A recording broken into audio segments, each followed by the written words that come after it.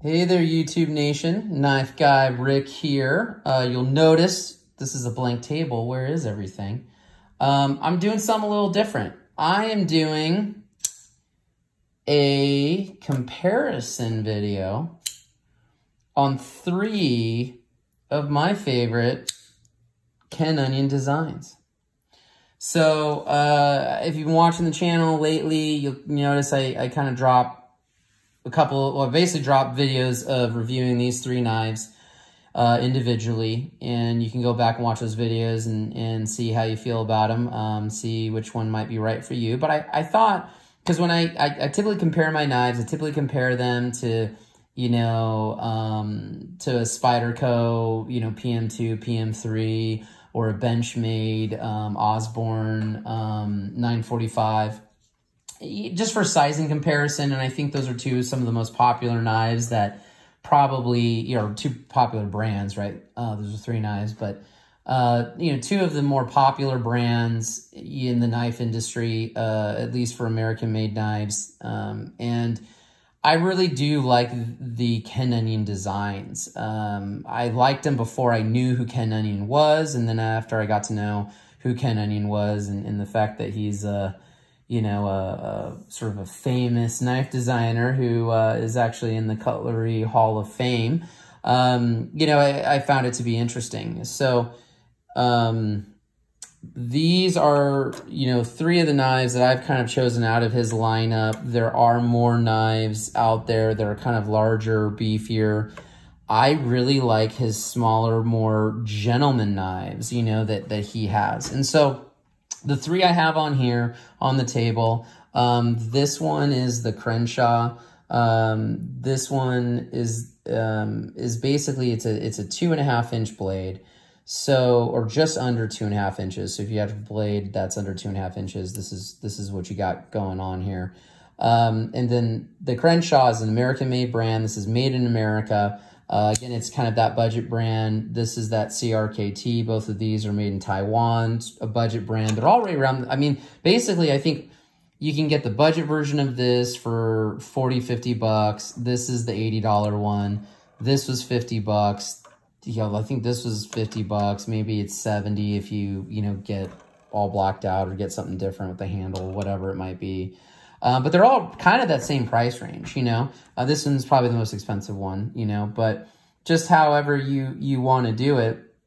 Um, so this one specifically is the scallion. So that's this size. You can get a three inch size. You can get, I think, a three and a half inch size. You can even get a sub uh, two inch size blade, you know. Um, and, and it is the speed safe assisted opening.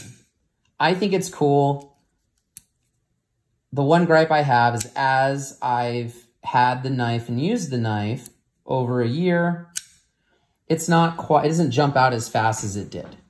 Um, but it hasn't broken either, right? You know, so whatever, you know, the that U-bar system that's in here seems to be legit, seems to work well. Um, it's not as crisp as it was the first day out of the box or the first two months out of the box, but it's it's nice. Do I think that that is just as fast as an auto knife. I don't know. Um, do I think this assist is faster than these? I don't think so. So I know laws have changed. When auto assist came out, it was this big gray area. It was, um, oh, you can't have a, automatic knife or a switchblade. Guess what? We got this assist flipper and boom, you can have it you know, it's brand new. There's no laws about it, so it's legal. Enjoy yourself. Well, I think some people in some states have, you know, kind of now this an assisted opening, whether it's a push button auto or whether it's a flipper, uh, could be considered to be illegal. So even if you look at this and go, oh man, that's awesome. It's, you know, just under two and a half inch blade. That looks great. Um, you got to look at your local laws because this assisted opening could be illegal. That being said, I, if if a cop found this on you, I, I don't know how you know they if they'd even care. You know, I mean, it just depends, right? Depends on the situation, depends on the police officer, depends on the state, you know, whatever it might be. Really like the knife, like the size. I'm not the biggest fan of the speed safe assisted opening. I, I mean, it's okay. Um, to be honest with you, I prefer the non-speed safe, just the normal flipper, right? So this is a normal flipper and is crisp. And I, I open and shut this thing all the time and it is just, it's crisp. Um, so both of these are uh, the CRKT. If I do it by size, this is the largest. I'm gonna put the largest one on the bottom. Sometimes I feel like the knives on top look bigger, which is weird, but so this is by size. So this one is, you know, like almost 3.2 inches long in blade. This is just under three inch blade. We'll call it a three inch blade for fun. And this is just under two and a half inches, but let's call it two and a half. So two and a half, three, you know, 3.2, right? That's what we're looking at. Kind of the three different sizes. Um, so this is being a CRKT. It has their, um, you know, K or IKBS ball bearing system. And I am shocked at how fast that opens you do have to hit it right because if you don't, you know, I, I don't know if it does it. I haven't really had a misfire, but it's. Oh, there you go. See, that was a misfire. You see, if you if you just sort of go. Sometimes you can, you can kind of, you know, it can come out soft. You know, I, I it's not super hard and crisp like bang every time. So you sort of got to flip it with authority if you want it to pop out fast. Um, like I said, though, the lockup, unbelievable. It's just locked tight. Um, AUS 8 steel. All these steels feel about the same. You know, this is AUS 8. This is uh, 420 stainless steel. And then this is the microchromium, like 8 uh, CR14 MOV, you know, stainless steel, high carbon. So, I, I mean, all these I think are, you know, they're all, these are three different types of steel, but they're all kind of in that same range.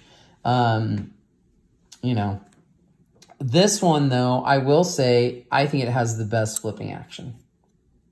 Bang.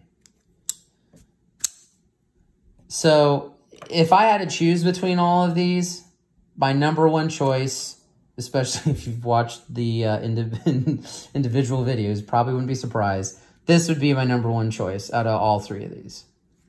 Um, this would honestly be my second choice. I have a hard time finding two and a half inch blades or just under two and a half inch blades that I think are really handy, nice knives. And this is a really handy, nice knife. The size, you know, how it feels in the hand, um, and then the, uh, the, it's, it opens well. I mean, it's, you know, I just like it. I, I mean, I, I feel like it, I would carry both of these.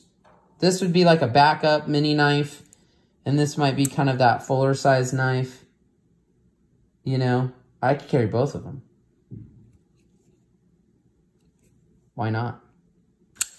And so I guess what got third place is this knife, which you know, it, they sort of advertise it like a gentleman's knife. I think all these are kind of gentleman's knives, but they advertise like a gentleman's knife. You know, take grandma to church with it. I just, it's such a little pokey knife. You know, it's very slender, very fine point. I've talked about, you know, should I sharpen this top point and make it like a razor blade, you know, or like on both sides, you know? Um, I don't know. I might do it. We'll see.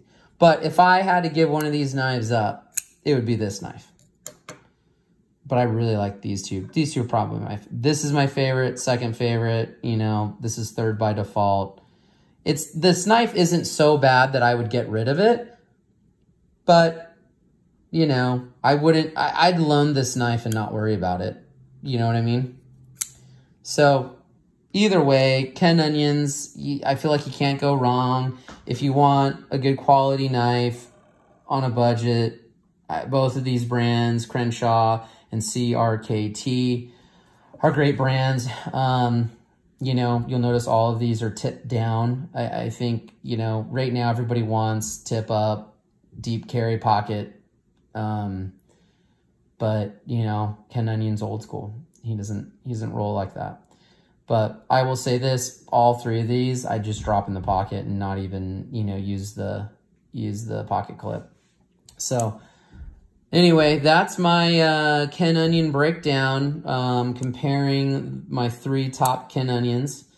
So I would say, you know, what's your favorite Ken Onion? And uh, feel free to, to drop it in the comments down there. As always, like and subscribe, and you stay sharp out there.